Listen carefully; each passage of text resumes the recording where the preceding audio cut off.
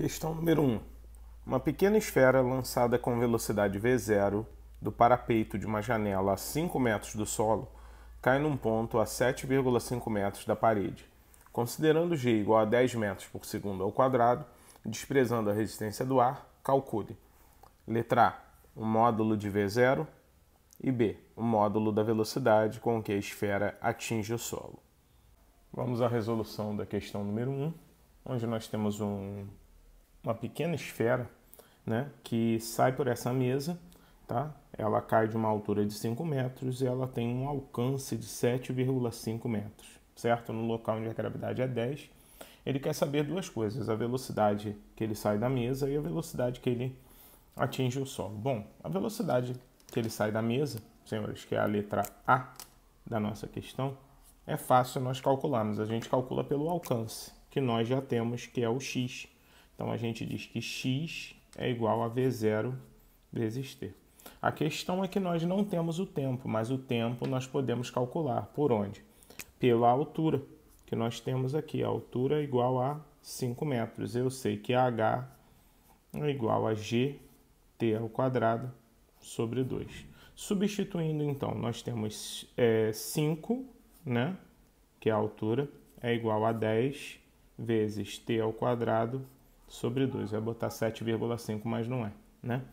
Passo 2 multiplicando dá 10. Passo 10 dividindo dá 1. Então, t ao quadrado é igual a 1. Logo, se t ao quadrado é igual a 1, t é igual a mais ou menos 1. Como não existe tempo negativo, então 1 segundo é a queda, certo? E agora nós vamos calcular o valor da velocidade através do x. Como x agora sim, 7,5 é igual a V0 vezes 1. Logo, o nosso V0 é 7,5 metros por segundo, essa é a velocidade que ele sai da mesa.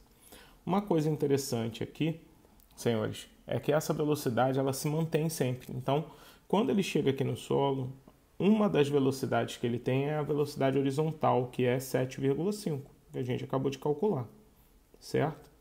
Agora, nós temos um problema, nós temos uma velocidade vertical também. Essa velocidade vertical, senhores, é como se ele tivesse é, inicialmente em queda livre, porque ele parte do repouso. Por isso que a gente usa h igual a gt ao quadrado sobre 2. Né? Então, a velocidade dele no eixo y é zero.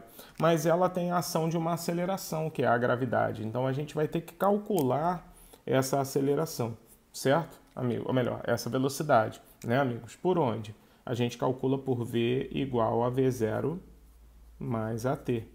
Como essa velocidade inicial no eixo Y, né, na vertical, é zero, então a velocidade Y que ele tem aqui ao chegar no solo, eu chamo de Y porque é velocidade vertical, né? A aceleração é 10 e o tempo, senhores, é igual a 1 segundo. Então, logo, essa velocidade é igual a 10 metros por segundo. Reparem que eu calculei duas velocidades. A velocidade horizontal, que é 7,5, eu já tinha calculado na letra A, e a velocidade vertical, que é a velocidade que ele chega ao solo.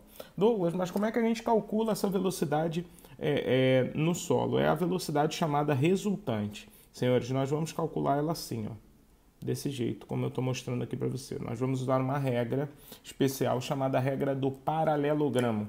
A gente vai traçar uma reta paralela ao x, uma reta paralela ao y. Reparem, ó, paralela a v0, paralela a vy.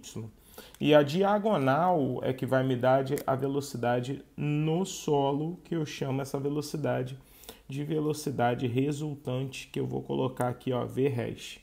Essa velocidade resultante, senhores, é fácil, ela é calculada pelo teorema de Pitágoras. Reparem que o ângulo formado aqui ó, é um ângulo de 90 graus, assim como o ângulo aqui também é de 90 graus. Então a gente pode aplicar dizendo que o quadrado da hipotenusa, que é o v res, é a velocidade resultante, é a soma dos quadrados dos catetos.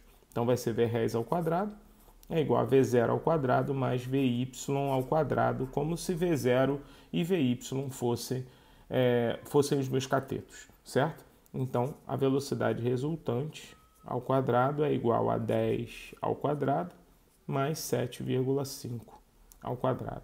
Correto, amigos? Então é bem fácil, dá até para a gente é, fazer de cabeça, né? Se você pensar que esse lado aqui é proporcional a 3, 3 vezes 2,5, esse lado aqui, o VY, é 4 vezes 2,5. Então esse triângulo aqui é um triângulo pitagórico. É o triângulo 3, 4 e 5. A hipotenusa, ela vale 5. Então ela é 5 vezes 2,5.